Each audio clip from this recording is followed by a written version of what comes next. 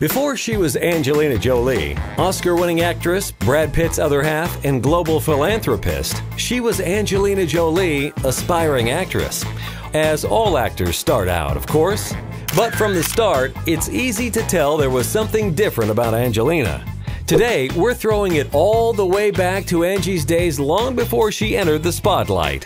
Can you believe she was just 15 when she posed for these early modeling snapshots?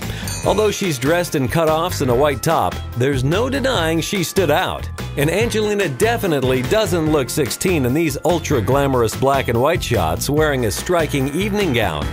And these photos were taken just weeks after the release of Angie's breakout role in the 1995 movie Hackers. That's almost 20 years ago.